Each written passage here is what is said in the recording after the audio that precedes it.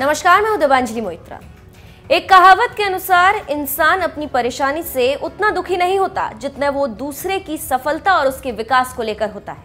आप तो जानते ही हैं कि दक्षिण एशिया में चीन और भारत की वॉर चलती रहती है। कभी चीन आगे तो कभी भारत की गाड़ी आगे। इसी नुरा कुश्ती के खेल में दोनों देश एक दूसरे को पछाड़ने के बारे में सोचते रहते हैं। आपको याद होगा कि भारत ने मालदीव से चीन को भगाकर एक बहुत बड़ी कूटनीतिक जीत हासिल की थी। और चीन देखता ही रह गया था।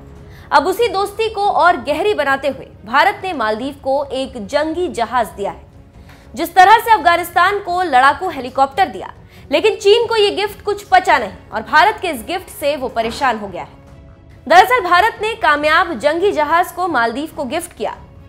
गुजरात में एचएनएमटी कंपनी द्वारा बनाए गए पेट्रोल वेसल एक ऐसा जहाज़ है, जो तेज़ी से समंदर के अंदर गश्त लगा सकता है। और दूसरी तरफ़ से आ रहे खतरे को नष्ट कर सकता है।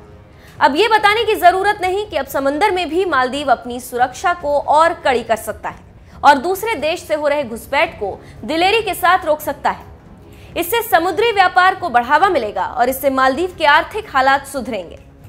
आप सबको मालूम है कि चीन को मालदीव से खदेड़ने के बाद भारत ने मालदीव की काफ़ी मदद की और आगे भी करता रहेगा। वहीं दूसरी तरफ़ मालदीव ने भी भारत से अपनी दोस्ती को और गहरा किया।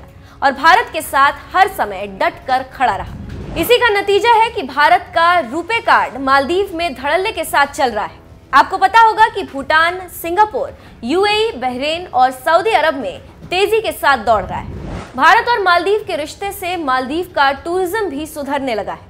यही नहीं, भारत मालदीव में और कई सेक्टरों में भी अपनी पहुँच को बढ़ा रहा है और भारत के सहयोग से माली की सड़कों पर एलईडी लाइट भी लगा दी गई है।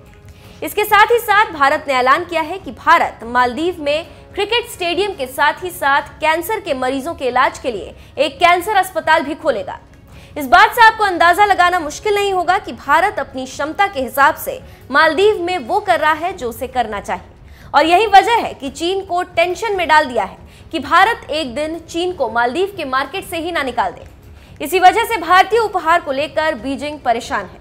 लेकिन चीन ने अपनी प्रतिक्रिया तो नहीं दी, लेकिन हाव भाव से तो पता चल ही जाता है कि बंदा परेशान लग रहा है। चीन भी कुछ उसी तरह की हरकत कर रहा है।